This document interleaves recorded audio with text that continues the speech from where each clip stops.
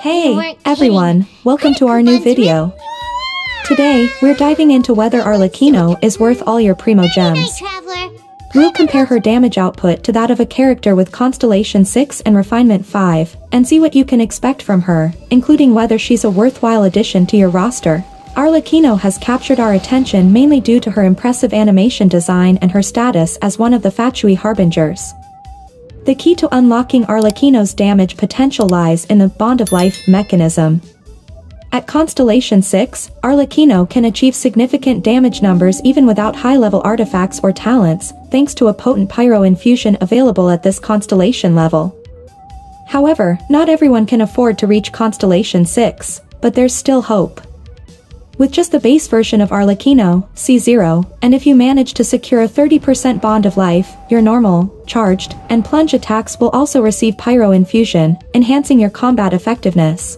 Regarding visual differences, there doesn't seem to be any significant change in her animations or effects, except for some noticeable distinctions in her weapon's appearance.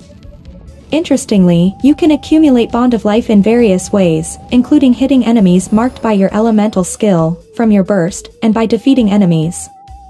Her signature weapon also contributes to this unique mechanic. Now, let's focus on the comparison. Arlecchino at C0 R1 versus a C6 R5 Chiori.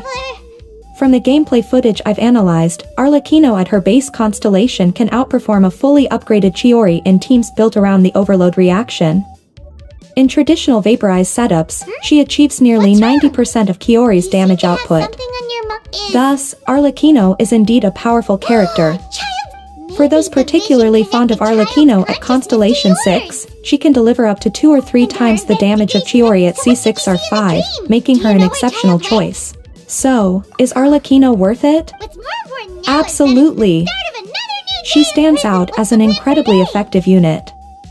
However, it's important not to directly compare her with characters like Neuvillette or Hu Tao until we see how they are balanced by HoYoverse through updates.